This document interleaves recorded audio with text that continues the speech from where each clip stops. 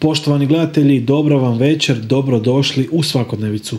Moj večerašnji gost je gospodin Slavko Kojić, predsjednik stranke Bandić Milan 365. Gospodine Kojić, dobro večer, dobro došli. Dobar večer vama, kao i vašim cijenjenim gledateljicama i gledateljkama.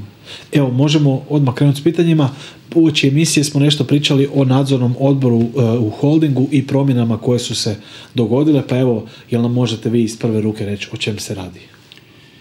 Pa da je baš iz prve ruke, ne znam jer ja nisam akter, ali sigurno da pratim događaje vezano za grad Zagreb, gradsku upravu, kao i trgovačka društva u gradu Zagrebu iz same činjenice što sam predsjednik ozbiljne stranke u gradu Zagrebu.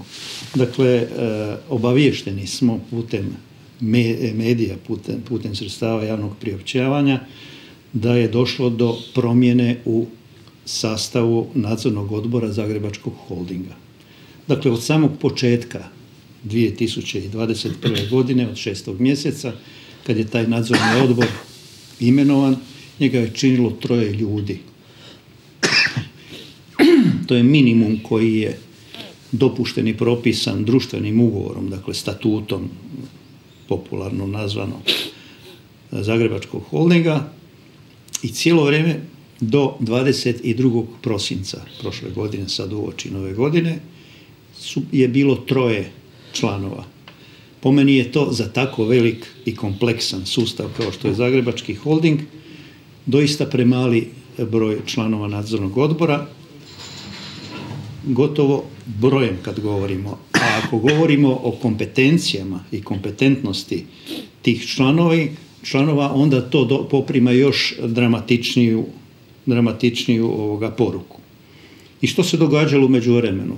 Negdje prije godinu dana taj nadzorni odbor je napustio njihov mastermind e, gospodin Ratko Bajakić iz njemu znanih razloga, jednako kao što je napustio i upravu gospodin Sesar, a na njegovo mjesto Bajakićevo došao je gospodin Kristijan Starčević, mislim da se zove, iz sustava bankarskog, kao što je i predsjednica nadzornog odbora iz bankarskog sustava koja kad se nagugla njeno ime samo se vidi skandal vezan uz njene kredite i zatvaranje švicarskih obveza po švicarskim francima koje si je priuštila za razliku od drugih građana koje to nisu, nisu mogli.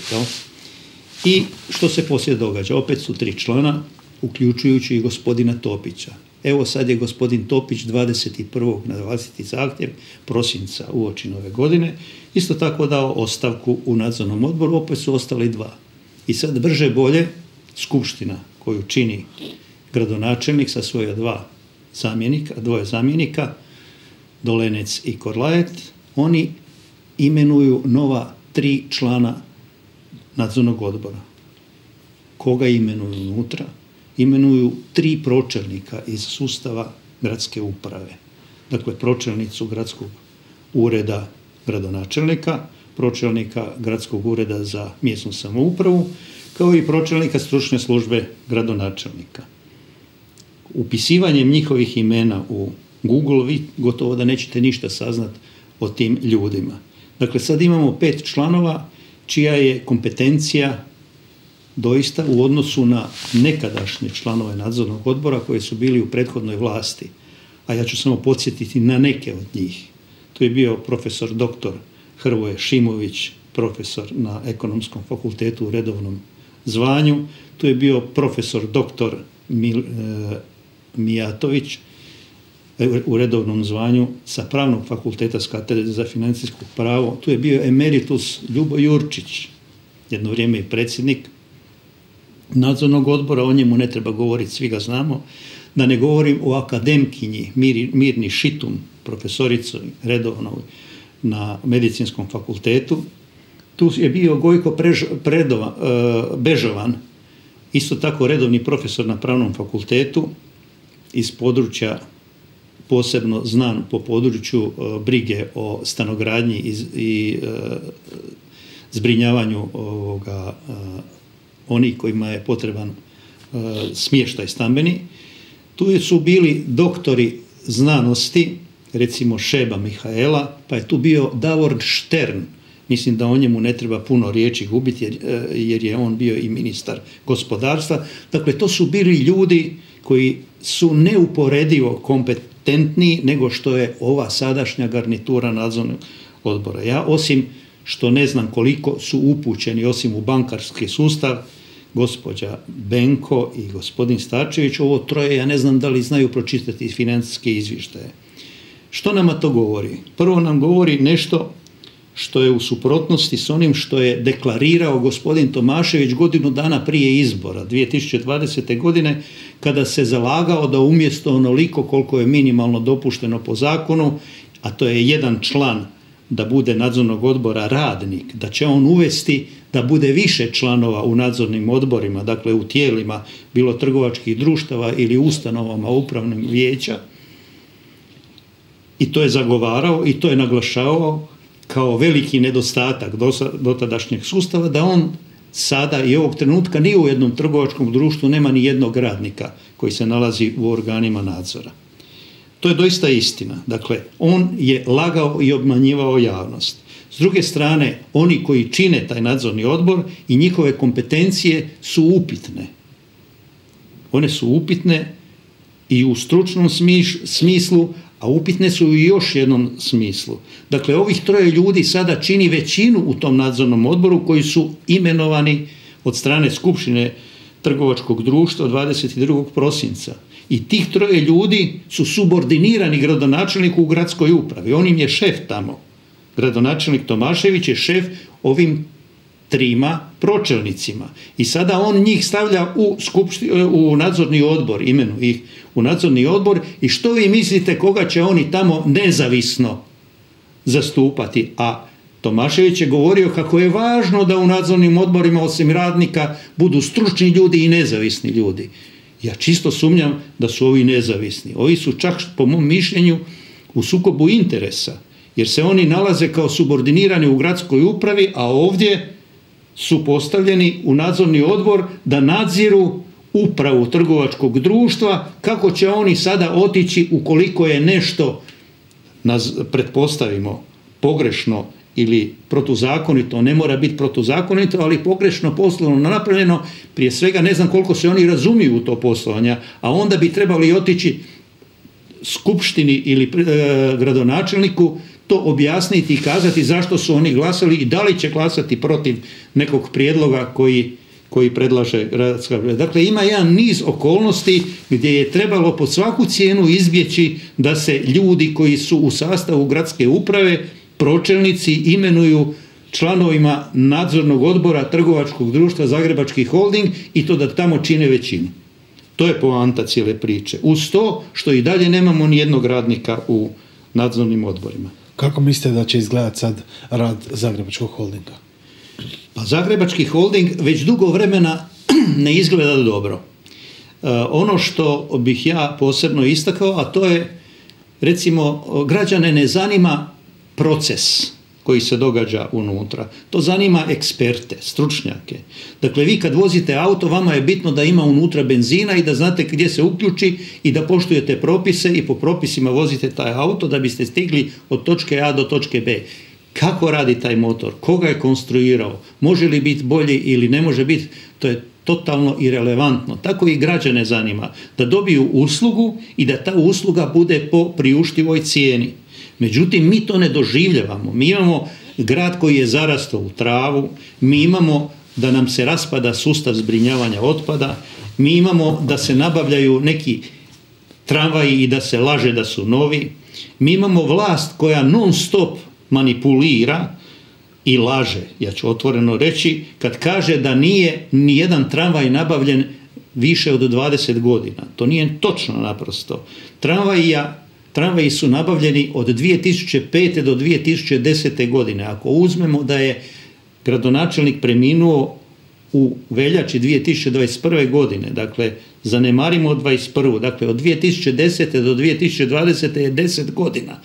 I tih 10 godina nije nabavljen tramvaj. A u ovih 5 godina prije toga, od 2005. do 2010. godine, je vjerovali ili ne novih tramvaja nabavljeno 142. Dobro ste me čuli. 142.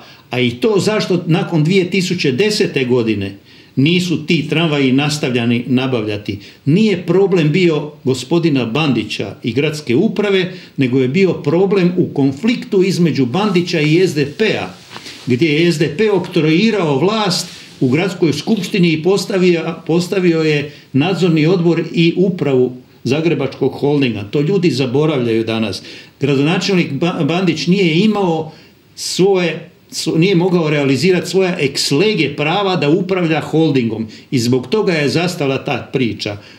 Uz to tu je bio i slučaj recesije koji se dogodio, kao i to da deset godina, od 2008. do 2018. godine, grad Zagreb nije povećao svoje prihode porezne niti za 1%.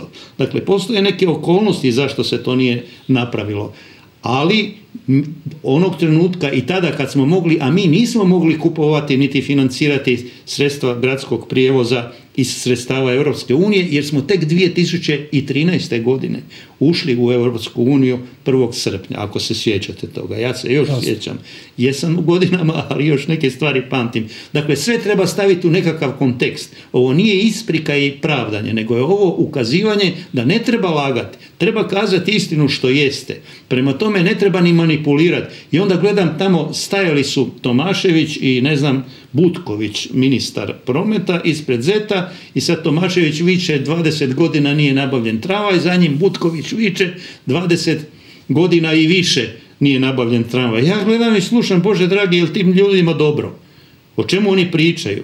Nek se Butković koncentrira na hrvatske željeznice, gdje, gdje je brzina kretanja tih vlakova u Hrvatskoj sporija nego što je bila u Austro-Ugarskoj. Ima on brige i bez, i bez zeta i bez tramvaja. U svakom slučaju pozdravljam ja što se novi tramvaj ugovorili i to treba napraviti. Međutim, ovo sa ovim starim tramvajima mislim da je jedna, jedan izlet, nisam siguran koliko je to pametan. Posebno kad se vidi kakve kvalitete su ti tramvaji i kakvi su im e, e, korisnički kapaciteti, to da nema klime, ne znam, ovo ili ono, tako dalje. Mislim da to Zagreb nije zaslužio. Ok, evo dajte da se vratimo malo na početak. E, stranka Bandić Milan 365, spominje se da je stranka u stečaju. Kakva je situacija sa strankom, što se događa? Vjerovali ili ne, stranka još nije u stečaju. Evo 16. sada siječnja, za koji dan, bit će ročište održano pred sucem na trgovačkom sudu gdje će se sagledati okolnosti i utvrditi da li i pod kojim okolnost, e, da li i pod kojim e, uvjetima stranka ide ili ne ide u stečaj. To je, e, taj stečaj je izazvan konfliktom, dakle, sporom između grada, ne grada Zagreba, između stranke Bandić Milan 365 i tvrtke četiri film koje su vlasni, čiji su vlasnici sestre Juka. Jedna je zastupa, a druga je režiserka.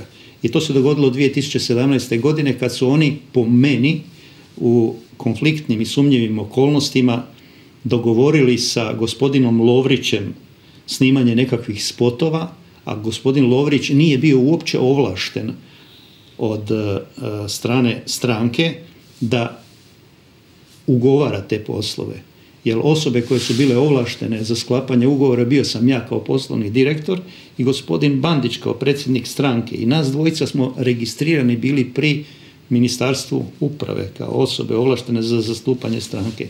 Ja osobno, evo pred svima, pred svijetom govorim, ja nisam imao pojma da je Lovrić dogovarao te i takve poslove. E sad zamislite vi, negdje 885 tisuća bez kamata, bez ičega, dakle skoro milion kuna sa kamatama i više. Biste li vi pristali na to da ugovorite s nekim takav posao bez ugovora? Pa, naravno da ne. Pa ugovor se sklapa za tisuću kuna, a kamoli ne za milion kuna. E, gospodin Lovrić je to usmeno s njima dogovorio, a one su rekle da nisu sklopile pred sudom. Ugovor zbog toga što da ne bi naljutile gospodina Lovrića jer su dobivale, dobivale sredstva iz gradskog proračuna. I dobro, moguće je po zakonu bez ugovora. Iako ja sumnjam da je iko igdje ikad sklopio ugovor za toliki iznos, be, e, e, zaključio ugovor bez a da nije u pisanom obliku. Da bi na kraju fakture nema. I faktura dođe šest mjeseci nakon, nakon tog događaja. Događaj se dogodi za vrijeme izborne kampanje. I dođe faktura u stranku, ja prenerašeno pogledam toliki iznos, što je to, dan svojoj asistentici, da pita Lovrića jer je on koordinirao nešto oko tih izbora, ja ne znam što, ali on kaže da je bio koordinator, tako je i na sudu rekao. I znate što je on napravio? On je rekao da se to nije dogodilo i da on neće parafirati tu fakturu. Što sam ja mogao napraviti? Nego uzeti fakturu i vratiti natrag. Tim više što je faktura bila formalno neispravna. Na njoj piše da je izdata 27. studenog i da su usluge izvršene 27. studenog. Nakon toga su te sestre otišle bilježniku i tražile ovrhu. I onda je to sve drugo posljedice. Dakle, meni je još uvijek nejasno, ali bojim se da će to sud ipak prije ili kasnije morati riješiti. Nejasno kako je moguće zaključiti posao od gotovo milijun kuna i ne sklopiti ugovor. Tim više što je zastupnica tog, e, e, e, te pravne osobe, četiri film, gospođa Juka, po struci pravnica. I kako je moguće taj misterij odgovoriti na taj misterij zašto je taj račun formalno neispravan kasnio šest mjeseci. Čime smo mi kao stranka dovedeni u protuzakonit položaj jer nismo mogli državno izborno povjerenstvo obavijestiti o tim troškovima izborne kampanje ako su se uopće dogodili. Mislim, svojim istraživanjem ja sam pronašao puno detalja koji ukazuju na kazneno djelo. Do toga da te sestre nisu nikad u svojim poslovnim knjigama prikazale tu fakturu. Izbjegle prikazati potraživanje i izbjegle prikazati prihod. Jednako kao i porez na dodanu vrijednost. Evo, to su okolnosti zbog, kojih ovoga, je došlo do posljedica stečaja. Ja nisam imao izbora jer je sud prihvatio prihvatio svjedočenje tih sestara, a mene je proglasio da sam ja nepisano odobrio Lovriću da zaključi taj ugovor. A te sestre isto tako na sudu kažu da sam me prvi put vidjela na sudu. Ni ne znaju za mene. Dakle, velika je tu zbrha i netko će morati odgovarati za ta sredstva. Što očekujete da će se dogoditi? Ja nemam što očekivati, ja znam da će stranka podignuti kaznenu prijavu u uskoku protiv svih tih sudionika u tom procesu. Pa neka uskok ocjeni da li tu ima kaznenog dijela ili ne. U najmanju ruku utaje poreza i neprikazivanje e, e, poslovnih knjiga. U najmanju ruku to. A ima i još stvari uključujući i poslovodstvo bez naloga, uključujući i pogodovanje, jer one kažu da su snizile cijenu zbog toga što su dobivale sredstva iz gradskog proračuna. Pa to se radi se o dva entiteta, jedno je stranka, drugo je gradski proračun. To je pogodovanje koje je kazneno djelo. Ja to otvoreno sve govorim ovdje, jer ja se ne mogu smiriti dok ja ne dobijem odgovor na misterij zašto je račun kasnio šest mjeseci. Zašto je račun kasnio šest mjeseci? Nevjerojatno je to. Ali evo, sud je ukazao njima povjerenje, pa ćemo vidjeti. Ja se neću predati samo tako. A što će se događati sa strankom? Evo, stranka, stranka je, za razliku od trgovačkog društva, stranka ima dvije komponente.